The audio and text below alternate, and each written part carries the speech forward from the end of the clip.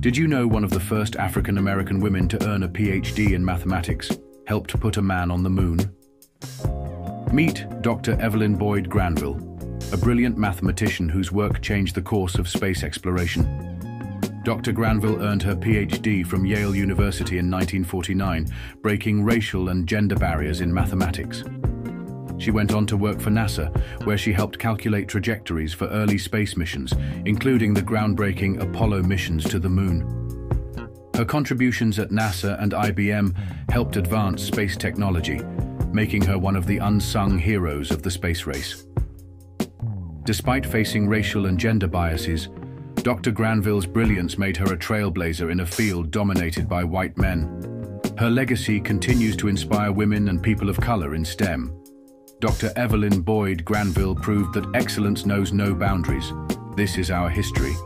Follow to uncover more untold stories, because this journey is just beginning.